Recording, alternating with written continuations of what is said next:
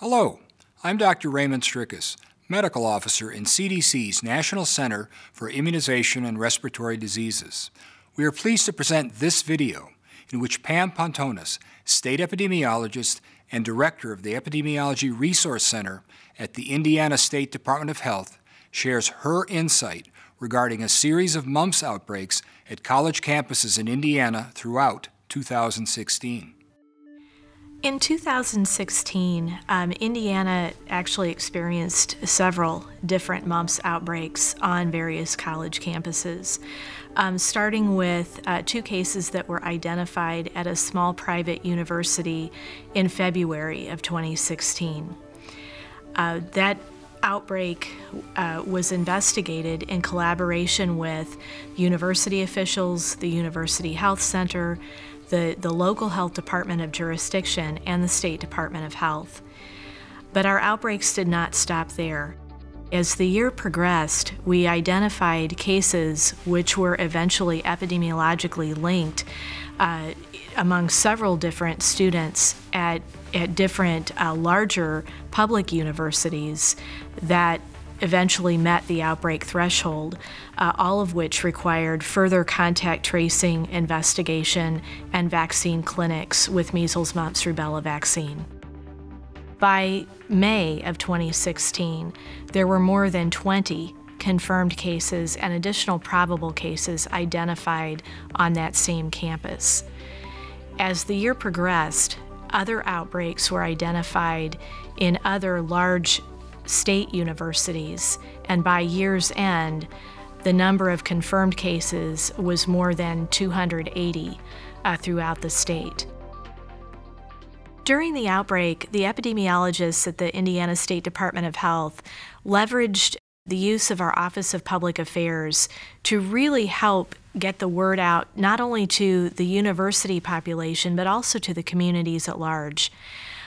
The Indiana State Department of Health issued press releases, uh, did postings and tweets on social media, worked with university officials to create signage and email push messaging that could reach the faculty, staff, and students very quickly. The use of that messaging, along with the community, the college campus population, and our healthcare providers, rapidly and effectively helped to keep everyone informed and really help to allay concern and ensure that contact tracing, laboratory specimen submission, and reporting were done promptly and effectively. The use of immunization registries is of particular importance here. In Indiana, we have the Children and Hoosiers Immunization Registry Program, which was so helpful to be able to quickly assess students and even faculty and staff that may have had records entered into the registry. So making sure that providers enter any immunization records into their respective immunization registries is so important in the event of an outbreak as it makes that assessment all the easier. In addition to being able to verify the records that university officials maintain, it's also important for students and faculty and staff to have access to their immunization records quickly and effectively if those records are not available in an immunization registry. Epidemiologists at the Indiana State Department of Health were asked about what the source of these outbreaks may have been. And while we may never know the source of the outbreaks, particularly because uh, about 30% of individuals who develop mumps will not develop any symptoms, the real focus was to identify individuals who were potentially exposed, and especially those who were under or unimmunized and required at least one or two doses of vaccine. That being the goal, there was a lot of effort and time spent to identify individuals through that contact tracing process. Sometimes that was challenging due to the fact that on some of these college campuses, there were a lot of activities happening, and final exams were also scheduled over the time that some of this outbreak investigation was occurring.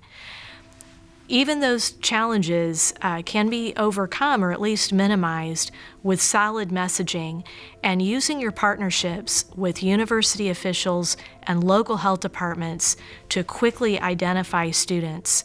That again underscores the importance of one of the lessons that we learned was in having university officials Uh, ensure that they can keep accurate immunization records and being able to incorporate those records into immunization information systems that state health departments have available.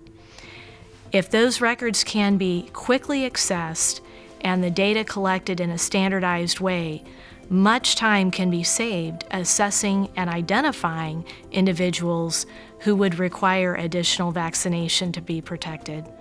There were people involved in these investigations at every level uh, local healthcare providers, local health departments, the State Department of Health, and we consulted with CDC experts as, as well. So we really use the entire public health system to investigate these outbreaks and to, to enact the proper control measures. On the local level, healthcare providers who were diagnosing and reporting cases in a timely manner were key. Uh, we did issue five uh, health Indiana Health Alert Network messages to providers statewide so that we could quickly disseminate the information that we were gathering in as close to real time as possible, informing providers of what symptoms to watch for, how to inform their patients, how to report. We also distributed a specimen collection and testing algorithm so that they could collect the proper specimens in a timely way, they could transport and ship them properly, and then be able to understand what the test results meant. That was key to making sure that we could confirm cases eh, promptly and accurately. Our local health departments played such a critical role in, in all of these outbreaks to ensure that the, the university officials were properly informed, to make sure that the reporting was being done correctly, to report cases promptly to the State Department of Health, and they were certainly uh, phenomenal in, in enacting the control measures that were needed, such as isolation, exclusion, and uh, helping to plan and prepare and offer vaccination clinics. At the State Department of Health, uh, our epidemiologists were involved early and often, as well as our laboratory, in helping to identify cases and contacts of cases.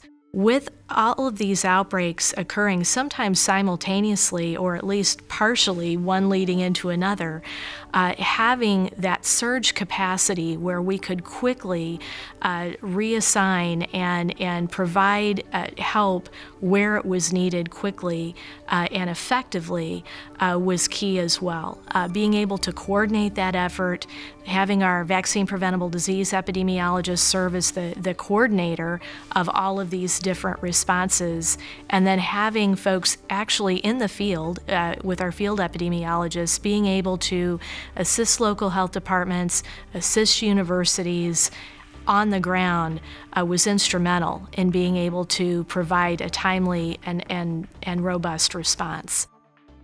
This Indiana example illustrates that the investigation and control of mumps outbreaks can be challenging.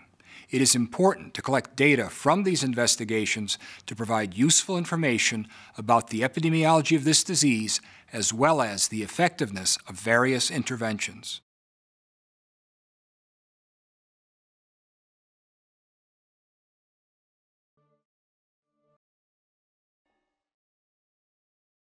Mm.